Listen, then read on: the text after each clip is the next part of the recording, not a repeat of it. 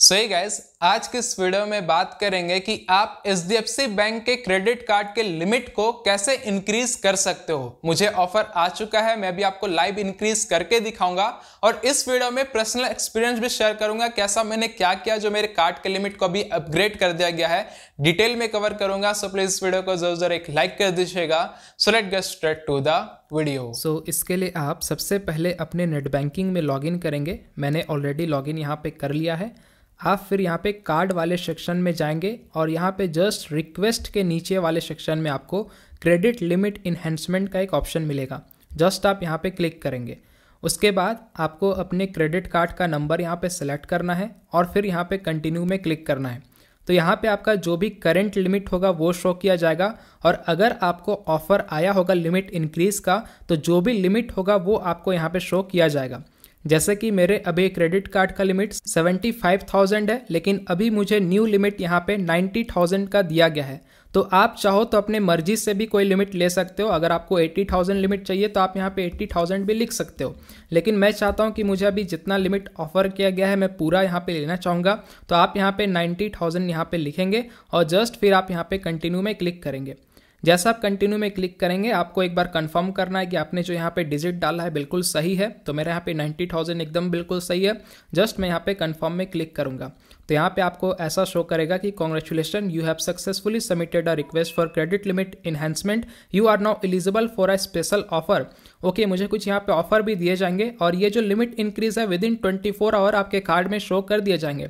तो चलिए देखते हैं क्या कुछ ऑफ़र मिला है। तो अविल नाउ मैं जस्ट मैं क्लिक करता हूँ। तो वही टिपिकल जो कार्ड के ऑफ़र होते हैं, वो यहाँ पे दिखाए जाएँगे। तो ये सारे ऑफर्स अभी यहाँ पे चल रहे हैं, ये आप अपने कार्ड के साथ ग्रैप कर सकते हैं।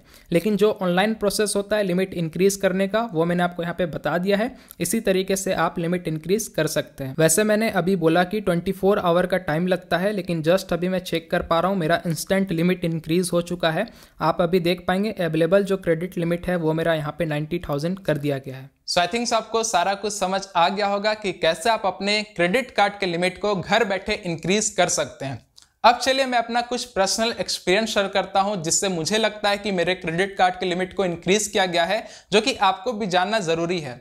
मैं यहाँ पे टोटल तीन पॉइंट्स बताऊँगा। इन तीनों पॉइंट्स को अच्छे से आप समझिएगा, काफ़ी ज़्यादा आपके लिए हेल्पफुल होगा। तो सबसे पहला पॉइंट है लिमिट इंक्रीज करवाने का। वो है कि आप एटलीस्ट अपने कार्ड को यूज़ करिए। जैसे कि आपके कार्ड का बिल हर मंथ जनरेट होता है तो आप कोशिश करें कि आप हर मंथ कुछ ना कुछ स्पेंड करेंगे।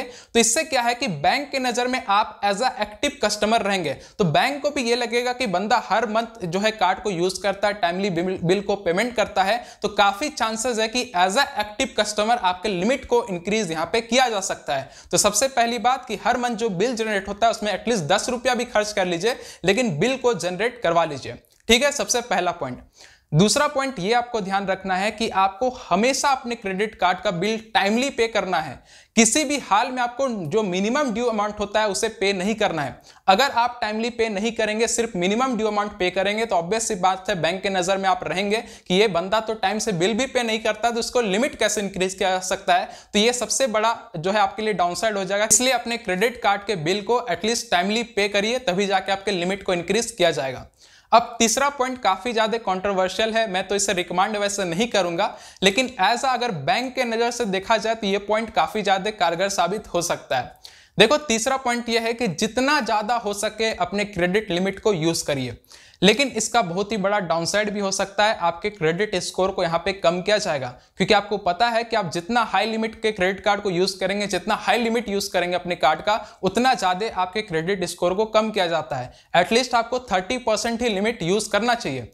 लेकिन अगर बैंक के नज़र से देखें तो बैंक वाली क्या समझ रहे हैं कि जितना ज़्यादा आप यूज़ कर रहे हैं और टाइमली बिल को पेमेंट कर रहे हैं तो बैंक ये सोचेगा कि लिमिट तो ज़्यादा यूज़ करता है, लेकिन टाइमली भी पे करता है तो इसको और ज़्यादा लिमिट दो। और ज़्यादा ये खर्च करेगा कोई ना कोई महीना तो ऐसा आएगा जिसमें ये पे नहीं कर पाएगा। हम लोग इससे इंटरेस्ट पेनल्टी जोड़ करके थोड़ा बहुत पैसा कमा लेंगे।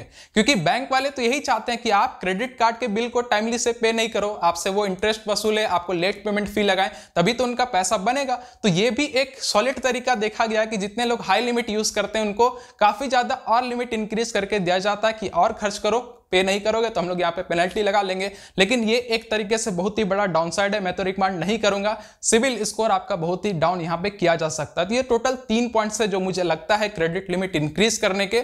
और बहुत सारे लोग कमेंट करेंगे, भाई, हमारा लिमिट इंक्रीज हो ही नहीं रहा है। तो देखो, मैं बोलूँगा पेशेंस रखो भाई। क्योंकि क्या है ना कि जब लिमिट इंक्रीज होता है ना तो एक सीरीज़ में इंक्रीज होता है। बहुत सारे लोगों का एक ही साथ लिमिट इंक्रीज होता है। तो इसके लिए आपको थोड़ा सा वेट करना पड़ेगा। बैंक एक ही बार फाइनलाइज करती है कितने पर्सन को देना है तो एक ही बार सबको मिलता है। तो थोड़ा सा वेट करिएगा तो आपको हो सकता है लिमिट आपको इंक्रीज करके दिया जा सकता है। सही थे आज की वीडियो मैंने इस वीडियो में आपको लाइव प्रूफ भी दिखाया कि कैसे आप अपने लिमिट को घर बैठे इंक्रीज कर सकते हैं। अगर आपको वीडियो जरा भी हेल्पफुल लगा प्लीज़ वीडियो को लाइक करेगा। इसी तरीके से इन्फॉर्मेटिव वीडियोस के लिए चैनल को सब्सक्राइब कर सकते हैं। कोई डाउट बस कमेंट करना ना भूलें। स्मित साथ तब तक ले जय हिंद। जय भारत।